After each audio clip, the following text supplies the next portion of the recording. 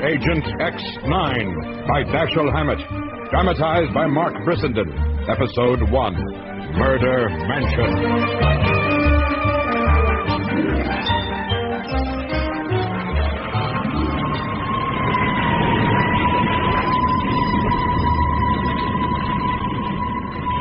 New York, 1934. Sirens race through the night to a warehouse blaze on the Lower East Side.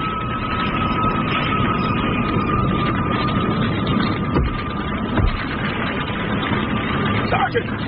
What in the blazes? You said it, Cap. You ain't gonna believe this. Right. Gun runners in that warehouse got me and three others out on patrol, pinned behind them crates over there.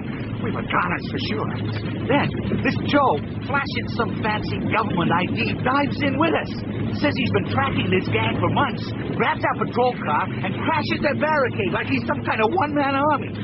We follows him in and starts mopping up the gang till the ammo in the place starts to go up. The Joe tells us to get out. The whole place is going to blow. That, that he's going after the gang's ringleader. Did he make it? That's the last I saw of him. Could still be in there for all I know. Sure saved my bacon, though. Meanwhile, in Tony's bar on West 34th and 10th. Ah, busy night, pal. About average. Give me a large bourbon, then a larger one to follow. Hey, that average a night, then. Eh, coming up.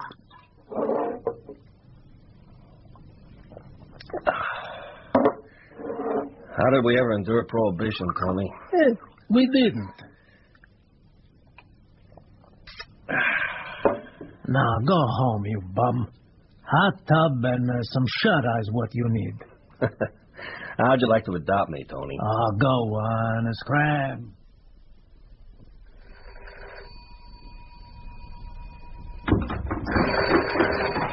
All right, let a guy get through the door, can't you? Yes. Hello. My name is Tarleton Powers, and I don't care if you're President Roosevelt himself. This is a private apartment. How did you get this number? what? Oh, yes, of course. I'm sorry. It was given to me by a close personal friend of yours. Uh huh. Carry on. You know of me, then? Sure. The industrialist. Powers Engineering. Powering the nation to a bright new deal. I read it on the billboards in Times Square. Good. Now, I need your help, sir. I'm in desperate trouble. You wouldn't have given my number if you weren't. Don't say any more now. Look for me in an hour. Your state's out Oakhurst way, right? Yes. Cross over the George Washington Bridge into New Jersey and. I'll find it. Damn this fog. Look for me in an hour, but don't expect to see me. Huh? You want to overtake in this? Come on, then. It's your funeral.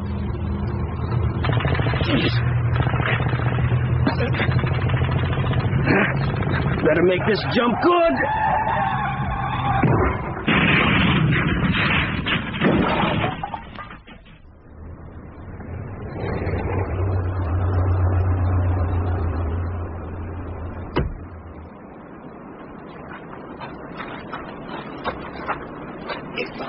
You think we got him, Luke? The car turned over, but I guess we better check it. Come on. See anything? Come on, guys. A little further down. Let's see some faces. Careful, Matthew. He might still be in the car. Yeah, but we got us a solid way of finding out. you ready? Always. Let him have it. You know what? What? I think we got him. No, but you just ruined a perfectly good 1934 package. Hey, there, by, by eh, those bushes. Yeah, I'm here. You idiot, back in the car, quick.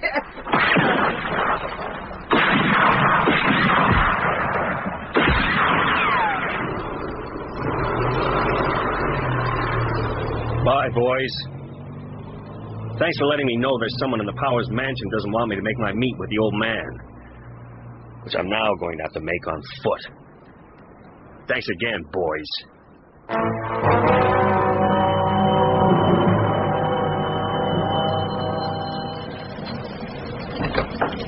Good evening, sir. Not from where I'm standing, it isn't. Move aside. Of course, sir. You're expected. That much I know. May I take your coat, sir? Yeah, here. Now try and dry it out a little, will you? The hat, too. Who are you? You phoned about a close personal friend of yours? Where have you been? I expected you hours ago. I had a little car trouble. Oh, come into the library. I have a fire in there. You can dry off. Thank you, Anderson. That will be all. Sir? Trouble with the staff? What? You always carry a gun when you talk to the butler? Don't be ridiculous, sir. How was I to know who you were? We've never met, and I'm old. Too old and too afraid to take chances. Then why don't you calm down and tell me what this is all about? Frankly, Mr. Uh, Call me Dexter. It's not my name, but it'll do. well, sir, I'm caught in a trap of my own design. I'm being blackmailed over a business deal I conducted some years past. Uh-huh. I'm listening. Are you familiar with an underworld character known only as the Top? Ah, so that's why I was called into this. You know this person? If I did, whoever it was would be dead. You might say it was personal as well as professional, but that's a score I'll settle when the time comes. Tell me what you know. Well, sir, before Powers Engineering was the force it is today, my brother and I. Quiet. But I. Don't say another word till I. Join us. You might miss something listening through closed doors. No, please. Spit it out, sister. What's your game? Dexter, there's no need. This is my niece, Evelyn. She's lived here ever since my brother died, Disappeared. presumed dead. Then why did you say died? Because it was 12 years ago. You were just a child at the time. And we're not having this argument again. Now say hello to Dexter. He's come here to help. Pleased to meet you, I suppose. Uh-huh. That's pretty unusual in my line of work when they've just fallen through the door with a gun in their hand. Oh, this. I'm sorry. I was afraid you might be a burglar or something. Or something. Yeah, I'm flattered. Mind if I take the piece now? Oh, here. Thank you. Mr. Powers, I was attacked on my way here tonight. A couple of characters calling themselves Matthew and Luke. I couldn't tell too well in the dark, but I could have sworn they looked like twins. Mean anything? Not to me, I'm afraid, no. Who else apart from you knew I was coming here? Why, Uncle! He's been shot! That's impossible. The doors are shut. None of the windows are broken. There's nowhere that shot could have come from. Uncle, please! You! You were facing me at the time. You must have seen something. But I didn't. Oh, let go! You're hurting me! If you're hiding anything, listen to me. The top is after your uncle. And I've been after the top longer than you've been out of junior high. And I'll roll right over anyone who tries to stop me. Anyone. Let me go! stop. He's alive. Uncle? Oh, hundreds of lives must save, must save. What's happening, sir? We heard a shot. We? Myself and Mrs. Briggs here. She's the housekeeper. Uncle's being shot. Quickly, get Dr. Minton. Call the police while you're doing it. I'll go. Uh, thank you, Mrs. Briggs. Anderson, help Miss Powers with her uncle. And do what you can to stop the bleeding. Really? What does a body have to do to get a little quiet around here? Mr. Powers has been shot, madam. How very careless of him. And is this the man who shot him? No, he's a friend of Uncle's. He's helping him out with his business affairs. Oh, private detective. You could say that. Oh, your husband's been shot and you don't care. Husband? Of course. I'm Mrs. Grace Powers. Ah, Uh, gold, hundreds of lives. It's all right, Uncle. Dr. Minton will be here soon. She's right, Mrs. Powers. I can't say I'm moved by your concern. Then I always heard redheads play rough. But he's in the best hands in dear sweet Evelyn. If he dies, her meal ticket goes with him. He only keeps her around out of some pathetic loyalty to his brother Alden. That's not true. You never loved my uncle. Do you think you fooled him for a minute? Don't be so sure I'll be the one to pack. Cut it out, both of you. Or you each take a slap. You wouldn't. Why, I do believe you would. Believe it. Miss Power, as soon as this Doc Minton arrives, have him help you get your uncle to his room. And don't let him out of your sight until the police arrive. It must be here somewhere. That sounds like them now, sir. Yeah. We'll make a detective out of you yet, Anderson. Let's go show him in. Evening, Anderson. Captain Brady's house. They got a call said Tarleton been shot, that right? Come in, Captain. It's through here in the library. Uh, thanks, Anderson. I didn't hear you say. So where's the old man now? We moved him to his bed. The doc's with him. Where are the rest of your men? Well, I, I got one out back and out front, too, and... Uh, hey, who are you to be asking me questions? Sure, my ID. Jeez. I heard of you guys. Uh, never met one. Now you have. Okay, fella. It's your party. You want to run it by me? Tarleton Powers was gunned down right here in the library. Trouble is, I was facing the only door. His niece was facing him. No windows were broken, and there's no way anyone could have remained hidden in here. But that's impossible. Right, but it happened. I've got Powers lying upstairs to prove it. First thing we're going to do is take this room apart, book by book, if we have to. Well, I ain't got no warrant for a full search yet. I better get Mrs. Powers okay. You got my okay. Besides, the lady of the house had to go lie down in her room. the strain, don't you know? Make it a large martini, Alfred, darling. Hold the vermouth. A neat gin it is. Now, really, I feel I should leave. Oh, stop squirming. Really, Alfred, a little thing like a shooting and you go all to pieces. No one knows you're here, and even if they do find you, so I have a lover. Big deal. But all this violence, my reputation. what reputation? Alfred Hall, society sponger, thinks he has a reputation. Very well, go. I'll just let this Dexter person do what Dexter people do. And who knows? Maybe he'll feel like comforting the grief stricken wifey a little later. Do you really care so little for me? Frankly, yes. Come on, it's got to be hidden along one of these bookshelves somewhere. So you say, but that pile of books on the floor just keeps growing. I Got it. Hmm? I knew there had to be a panel in back of one of them. Let me see that. Here, see? This piece of wood on the shelf slides open. I'm okay. It missed me. Come on, then. Quick. The other room.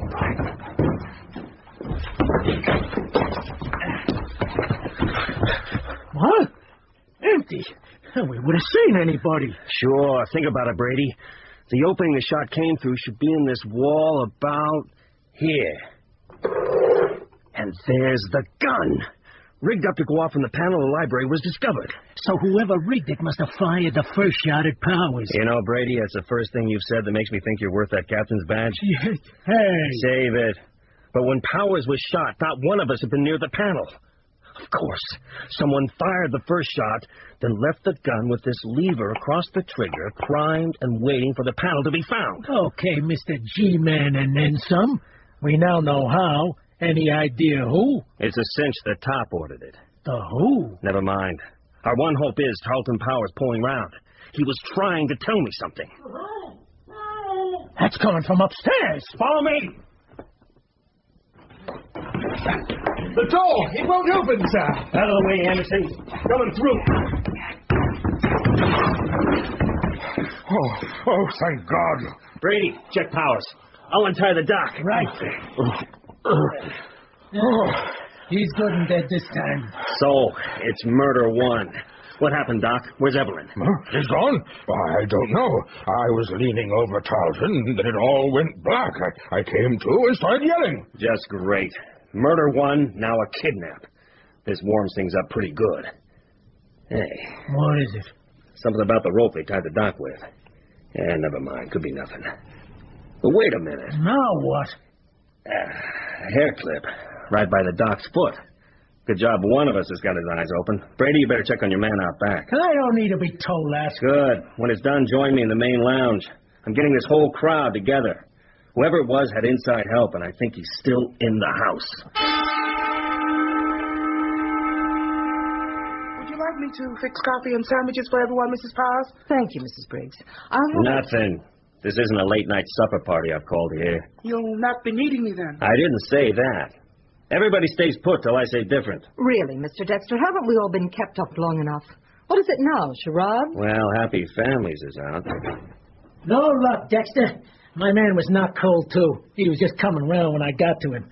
Footprints suggest two men. Uh, There was a smaller set, too. Maybe a woman's. That could be Evelyn Powers. Damn, I should have been ready for a second try. But if outside help came tonight, then they were told to come by someone in this room. How ridiculous. Really? Somebody killed your husband tonight, but it took them two goes to get it right. Whoever fired that first shot is either here now or took out without knowing if Powers was dead. And you suspect one of us? Well, you it ain't, Doc. Never I known a man to be able to clunk himself backside of the head, then once out cold, tie himself up. Even a flatfoot like Brady could work that one out. Keep riding me, Buster. Keep riding me. Anderson's out because the door to Powers' room was wedged shut with a chair, and not locked. Anderson would have a key. Of course, sir. I have a master set for every lock in the house. Right. And there's no way he could wedge a door on one side and then be on the other trying to break in. No one could. Which lets Mrs. Powers out, too. That and the fact she had Anderson bring a bottle of the Krug 1919 to her room shortly before. Good choice, but a bad time to celebrate. It was for my nerves. Lady, you got plenty of them. And how about Evelyn? You're only assuming she's been kidnapped. Oh, that's a ridiculous notion. And you know it, Mrs. Powers. But either way, it gets her out of your hair pretty nicely with her uncle's estate to carve up. Naturally, I'm concerned about her whereabouts. I'll just bet you are. But what it leaves us is Mrs. Briggs. Yes? Oh, You'd like some drinks served now? She was on the wrong side of the door, too, if that's what you're getting at. Nice going, detective. Maybe. What'd you do after you called the police, Mrs. Briggs? I went back to the kitchen. Thought it'd do best to keep out of the way. Until Anderson came down for Mrs. Powers' order. Then you went up there yourself, blackjacked Dr. Minton, overpowered Evelyn before letting more of the topsmen in to finish off Powers and kidnap the girl. That just left you to tie up Dr. Minton and have the topsmen wedge the door behind you before Anderson came back. That's not true. Not a word of it. There's no way Mrs. Briggs would have the strength to do all of that. That's because Mrs. Briggs is a man. Don't move, Mrs. Uh, Baldy uh, Carson, if I remember my mug shots right. I don't know you. Didn't say you did. But how did you know? I didn't. I played a hunch and guessed right. It was a rope used to bind Doc Minton. It was more of a twine, like the kind you'd use to truss up a chicken or a turkey. And it had been cut with a blade that had a serrated edge. Not a flick knife or dagger, the sort of thing you expect a cook to carry, but more the kind of knife you'd get in a kitchen. Then this clinched it. The hair clip, sure. But that had a point to Miss Evelyn. Nah. She was wearing her hair down tonight. It had to be Baldy Briggs here. Hair like he was wearing wouldn't need clips, but you would if it was keeping it on. One thing I didn't know till now is you throwing in your lot with the top. So, a guy's got a right to earn some dough, don't he?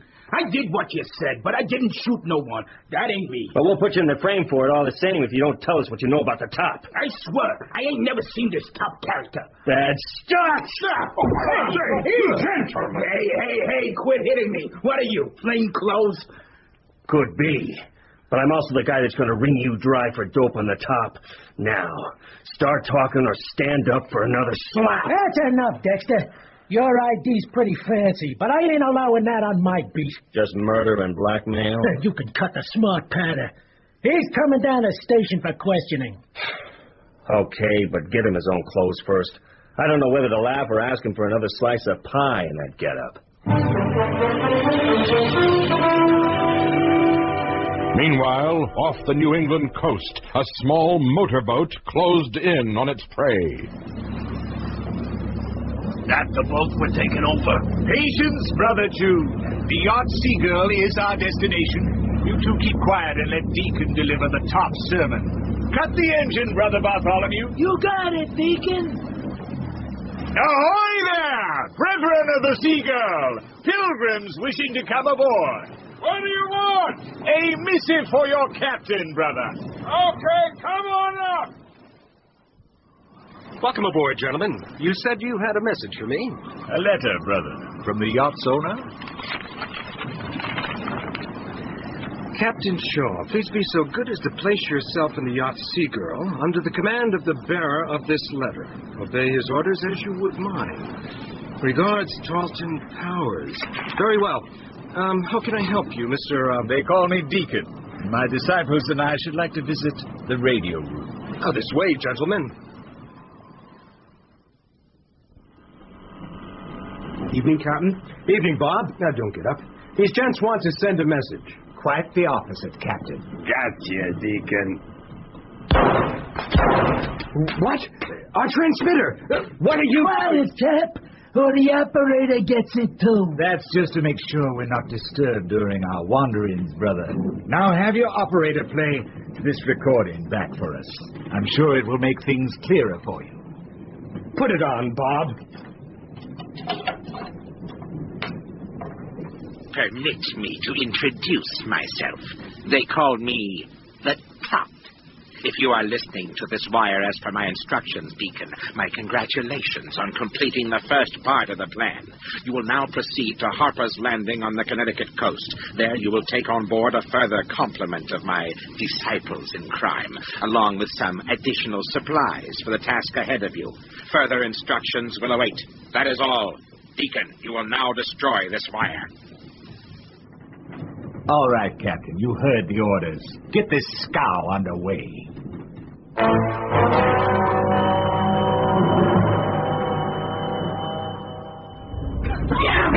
What? Yeah, it could be your new home for a while, Carson. Welcome to the Oakhurst Police Department. Come Brady. The quicker we get him to the interview room, the better. Oh, uh, excusez-moi. Uh, uh, this is Baldy Carson, no? It is. And who might you be? Oh, pardon, je m'excuse. I am Captain Pickle of the Paris Police Force. Uh, forgive the evening dress. Uh, I was on my way to dinner when I heard. Pretty fancy cane, too. Or is that the latest fashion in billy clubs now? Most droll, monsieur. But I am after this Carson in connection with the European kidnapping ring. What? I ain't never been no further than Chicago. You are a liar, monsieur. I have information that places you as the inside man on at least half a dozen jobs on the continent. You're crazy. And quit poking me with that cane. I ain't some dumb mutt. Uh, how did you know we had him, Captain? Oh, as I explained to your desk sergeant here, uh, I was tuned into your police broadcast. Well, that's true, Cap. He checks out so far. Okay, tag along if you want. But remember, this is my prisoner and my interrogation. Hey, what about me? This is crazy. Don't forget to pin the Valentine's Day massacre on me. I confess. Can it, Baldy? We got a bare interview room and a lot of questions for you. Come on. All right, now listen, Carson. I'm going to give you one chance to level with me. Did you shoot Tarleton Powers? I told you.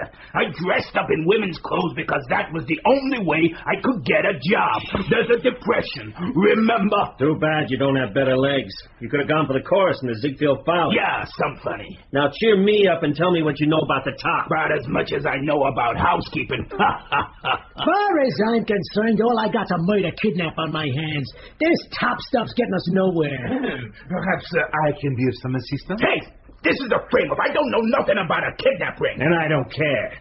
I got connections that'll fix you up for conspiracy to assassinate the president if I don't get what I want. Hey, Brady, you're gonna let him threaten me like that? Let's put it this way, Carson. It's either him or me. Your choice. Uh, okay, okay. I tell you what I know. It ain't much, but... Ah, jeez. Has anybody got a cigarette? Have one of mine. Thanks. See how reasonable I can be when you cooperate? Uh-huh.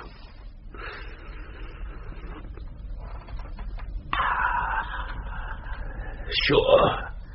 I was the inside guy on this job, but the top never tells you more than you. more than. Hey, what is it, Carson? What's wrong? No, wait! Oh, oh, quick, you relax. What kind of trick is this? Ah, it's no trick, Brady. He's dead. Huh? Maybe, uh, maybe he had some kind of capsule in his mouth.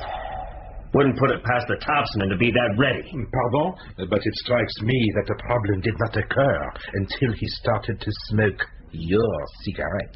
You got a point there, Frenchie. What do you say, Dexter? You're saying this is my work? I spend a night trying to squeeze the information out of him, then bump him off the minute he's about to spill it? Wise up, Brady. All I say, my head's spinning with tops and government joes who act like private dicks and foreign cops spouting kidnap rings. First thing, that butt goes down the lab, and you two are sitting tight till I get a result. If you insist, Captain. No go, Brady. I got another plan. And I won't be t- Hey, Don't touch your gun, Brady. I could pop you and get away with a reprimand. And you're one of the good guys? I can't prove a thing right now, but I'm as guilty of this as Captain Pico is French. Check it all out, Brady. Not just a cigarette. I ain't saying you are guilty, but nobody points a gun at me in my own station. Can't be helped, Brady. There's a girl kidnapped, and the top's behind it. So that's where I'm gonna be. Get away from that window, Frenchie. You're blocking my exit. So long, gents. Keep up if you can. Quick, he has dropped into the alley. Your gun. You can still stop him. Stop him? With two murders and a kidnapping in one night? I hope I never see him again.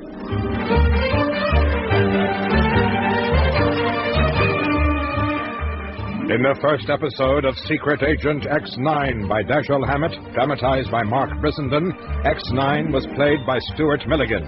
Grace Powers by Connie Booth. Evelyn Powers, Rachel Power. Alfred Hall, William Hootkins. Charlton Powers, Bruce McGuire. Deacon, Peter Marinker. Captain Brady, John Guerrasio. Baldy Carson, Clive Rowe. Captain Shaw, Michael John Pariati. Other parts were played by members of the cast. Technical presentation was by Peter Novus, Roz Mason, and Jane Napier. Secret Agent X9 was directed by Chris Wallace.